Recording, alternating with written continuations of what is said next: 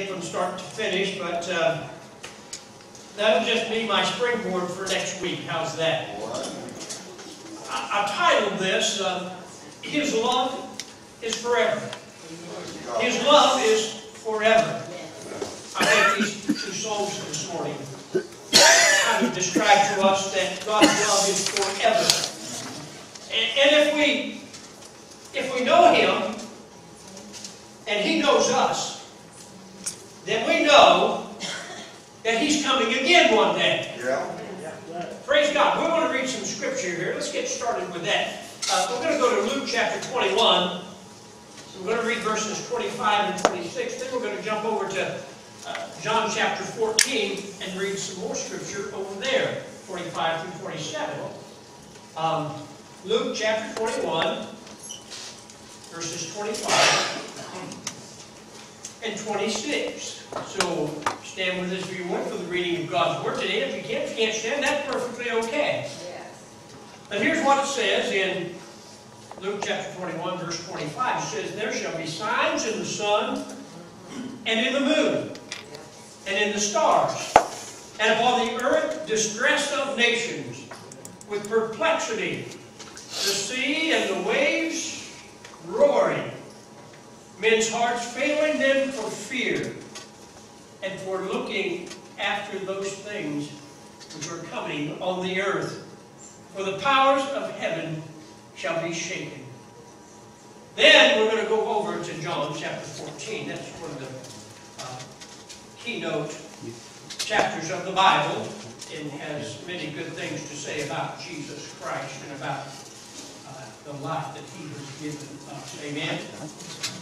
So John chapter 14, we're going to read verses 25 through 26. And there shall be signs in the sun, and in the moon, and in the stars. That's in Luke. That's and, when we get to, I think we're going to get to uh, John chapter 14, Mary.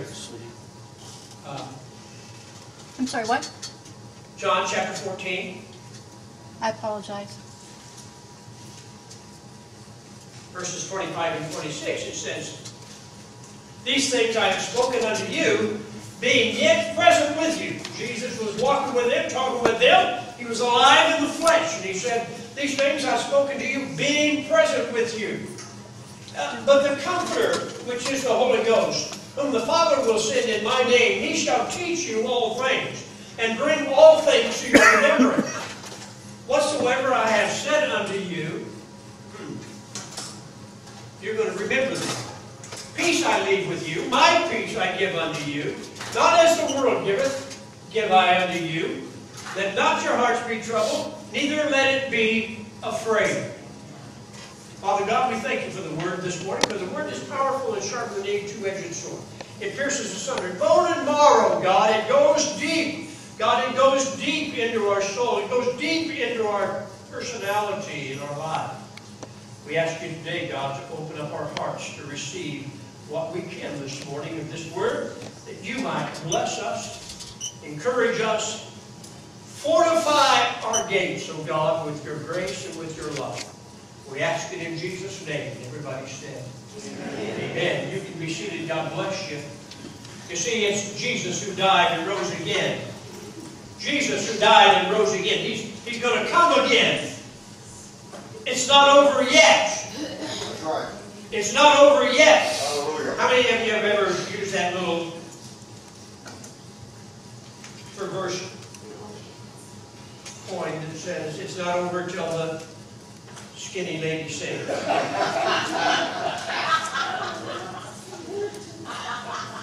Kidneys.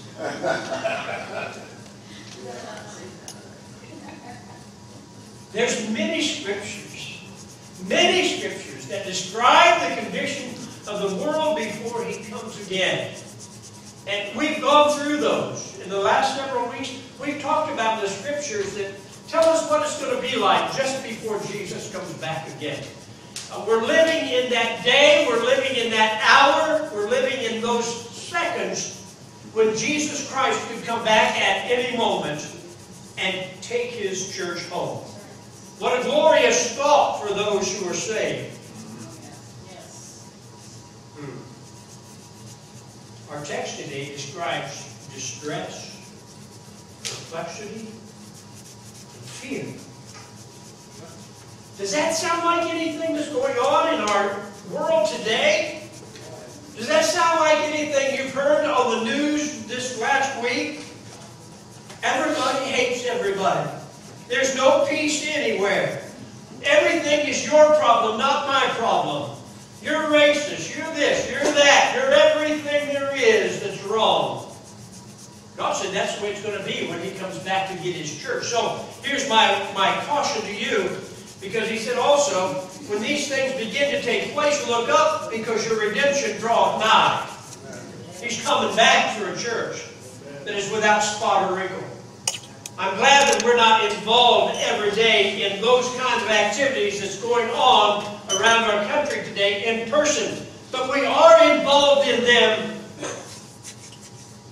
in our psyche because they trouble us. They bother us. We watch the news. I quit watching the news. But we'll watch the news and we see all of the trials and the, and the riots and, and all of the... It's not about equality. It's about who can get the most stuff out of the store in time. It, it's about who can break the biggest window of the biggest building in time. It's about stirring up hatred. It's about stirring up dissension. It's about making neighbor hate neighbor, father hate child, child hating father. Does that sound familiar? If you've read the Bible, you know those things are all in there. And those are the things that's coming to pass. And the Bible describes all of these. It's an epidemic or a pandemic that's here today. But, but, Holy Spirit, come quickly. Because His Spirit equips us to overcome fear, Janet. We don't have to worry these things. The Holy Spirit is here as a comforter, as a guide, to lead us in peace through the duration of this time into our world to come. As Jerry so adequately said, Jesus is coming back. He's coming back. And He's coming back for a church that is not filled with fear, that is not filled with hatred, that is not filled with doubt. Amen. He's coming back to a church that's looking for Him. John 14, 16. You know, when we're distressed, the Holy Spirit gives us comfort. Think about this. And I will pray to the Father, and He shall give to you another comforter, that He may abide in you forever. This thing's not for a weekend, folks. That's right. Praise God. It's forever. Yeah. When He comes in, He's there. Amen. The only way He will leave is if you push Him out. Right. If you begin to go back to your old ways of living, your old ways of thinking, if you begin to say, I don't know if God is even real, I don't know if I believe in a God, then He's not in you. Because He is God in the third person. Amen. And He is ever present with believers on the face of this planet. I, I, I- I'm sorry that non-believers can't have that. I'm sorry that that's just not a part of who they are. Because if they could have that for one day and really think about what it's done to their lives and to their hearts, to their families, they would want it every day. See, the definition of distress is this an afflicted. An afflicted. Wretched or exhausted condition. A state of extreme need. Well, we've seen all of those in the past several months here. We need all of those things, Sharon. Becky, I'm glad when you send me those little text messages in the mornings. It says, Good morning. We love you. Those brighten my day. Because I know that God is at work in her life to try to change my life. Maybe I woke up in a bad mood. Maybe I woke up with something distressing in my life. Let's send some of those Pastor Ron and Sister Teresa's way. They're putting up with the dad and mom that's suffering from dementia and Alzheimer's. I pray for them every day. God, they need your grace. They need your peace. See, they knew mom and dad when mom and dad loved the Lord Jesus Christ with all their heart. Uh, I've heard Teresa say this so many times. My dad was a fantastic man of prayer. He could pray the most eloquent prayers, and he loved God so much. But you know, when these things come on, all of that goes out the window. They can't remember who they are, let alone that God loves them. I don't understand that. I, don't understand that. But I know that someday we will. You know, our greatest need in distress is comfort. We need comfort when we're stressed out. We need somebody that we can talk to that hears us, that says, Fear not, for I am with thee. Fear not, I'm here. I will never leave you, nor will I ever forsake you. You see, the things that are going on in our world today cause people to say, hmm, I, I think I'm just going to end it all. I can't stand going through this. And they go to their rooms and one way or another, whether by drug overdose help of Smith and Wesson, they think they end their problems. That is not the end of any problem. That's the beginning of problems. Because when you take your life without Jesus Christ, you spend eternity in hell. There's no purgatory, folks. There's no place to go but to heaven or to hell. You see, if God sent His Holy Spirit to be our comforter, and we need a friend, then why don't we call on Him? If we need a friend, He's a friend like no other. He's a friend that will never turn you away. He's a friend that when you're talking will not say, Oh, shut up for a minute, let me tell you the way I feel. He's a friend that knows your heart. That when you're so distressed and you're so upset that you can't even form words to pray, He makes intercession for you. He prays according to your groaning and to your anguish and to your loss. He knows how to pray for you. Look at John chapter 16, verse 33. You know it says that in this world we're going to have trouble. Huh? In this world we will have trouble. All you men say, you married men say amen. Don't. I thought maybe you was afraid over there. Praise God. In this world, these things I have spoken unto you that ye may, might have peace.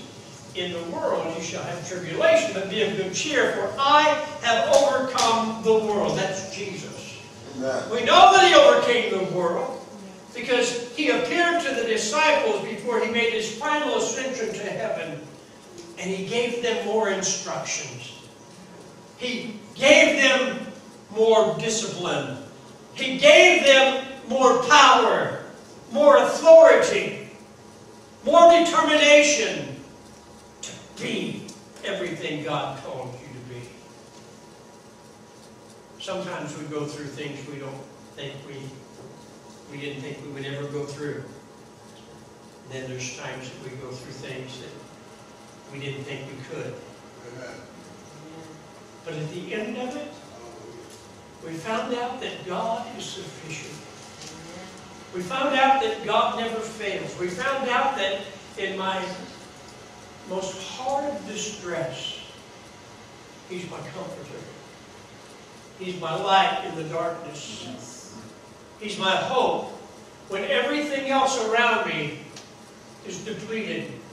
My friends, my loved ones, they no longer, no longer come to me because I'm so hurt, so distressed. Now they just think, I'm just going to stay away from them.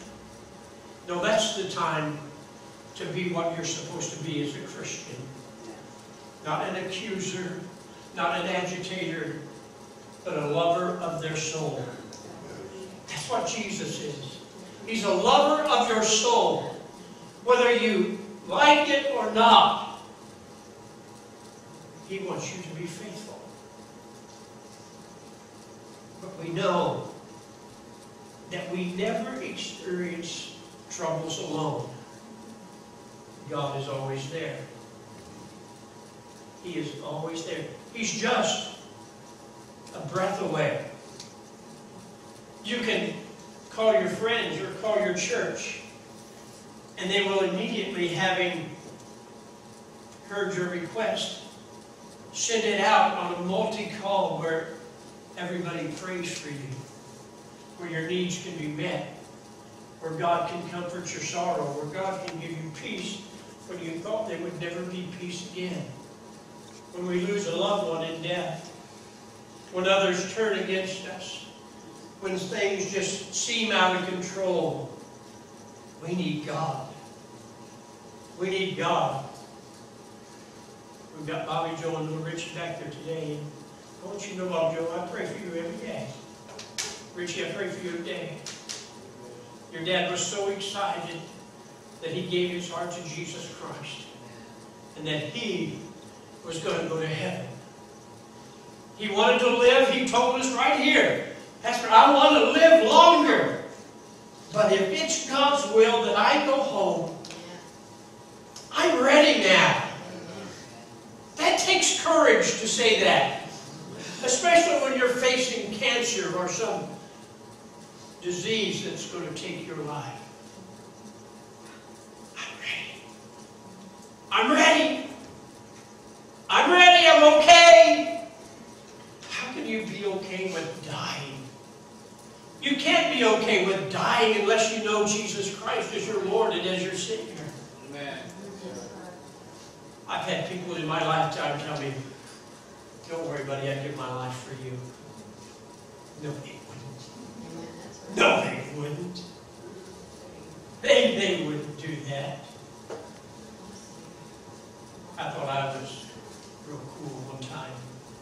My best friend was getting in trouble with that guy much bigger than him. We were at a restaurant and I jumped up and grabbed the bottle and broke it. Went after the guy that was picking on him. I said, I'm not going to let you hit, hurt him. I'm not going to let you kill him. And I thought, how dumb was that? How dumb was that? He might have just pulled a gun and shot me. And he would have been totally legal in doing so. Now you know what I do? Now I call on Jesus. Now I call on Jesus. He's my ever-present help in time of trouble. Yes. It doesn't matter that the old devil, my wife had a, a, a visitation from him one time when my, my firstborn was uh, about to come into this world and we lived in a mobile home and in the middle of the night she woke me up in a panic, sweating. The devil had come into that room to visit her. He wanted my son, my firstborn. And she cried out, we weren't saved then, and she cried out, Jesus, help me! And she said, he was gone in an instant. I want you to go buy me a cross. I don't care what it looks like. I don't care how much it is. I don't care how cheap it is. I want you to go buy me a cross because they're going to see that I stand for the cross from now on. Wow.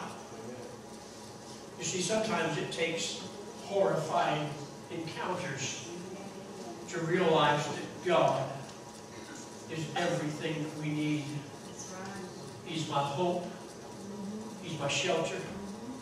He's my fortress. He's my high tower. I can look out over my enemies now and say, can't touch me, can't touch me. Like the little monkey sitting in the tree, teasing Mr. Alligator, can't catch me. But along came the old devil, the alligator as quiet as could be. We thought we were in pleasantry, and one little monkey sitting on a tree. Devil came and snatched one away. It comes that quick. It comes that quick. It's so important that we live every day with everything that's in us for Jesus Christ. There's no room for hesitation. I'm quickly going to go through these and have you out here by quarter after. I haven't seen my wife. Thank you, honey. I know she's listening to me. Look at John chapter 14, verse 26. But the Comforter, Comforter, which is the Holy Ghost, whom the Father will send in my name, he shall teach you all things, and bring all things to your remembrance whatsoever I have said to you. He was talking to the disciples, and he was talking to us. Everything that God has ever spoken to you in the, in the world of Jesus Christ, He will never leave you, He will never forsake you. He is that friend. He will always be nigh thee, even in thy mouth. He will protect you, He will love you, He will heal you, and He desires you. Perplexed? Finding no way out? Call on Jesus, He'll be there. You feel trapped?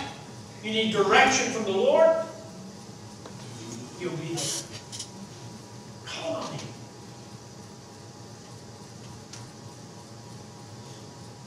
John 14, verse 47 gives us everything we need. Peace I leave with you, my peace I give unto you. Not as the world gives, give I you. Let not your heart be troubled, neither let it be afraid. I'll be with you. When you're fearful, the Holy Spirit will give you faith. Luke 21, 26.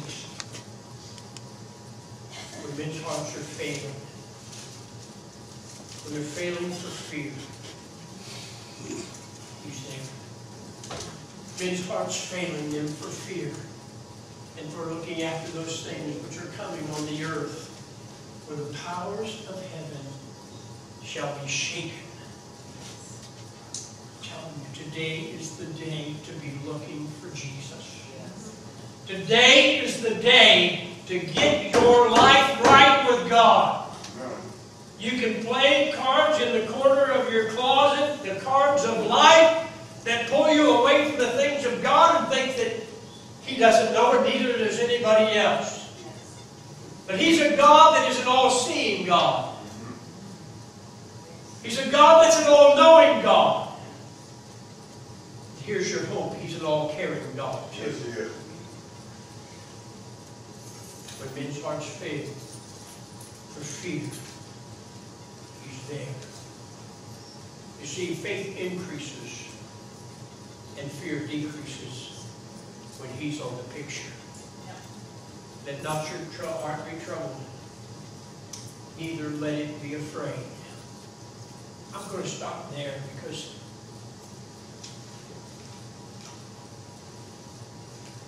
somebody here today that needs something from God. I just have that feeling that there's somebody here today that's saying, I wish I could have that. I wish I could keep that. I've come to it before. It just goes out as quick as it comes in.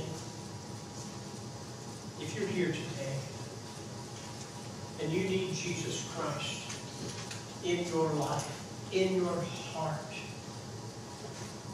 raise your hands and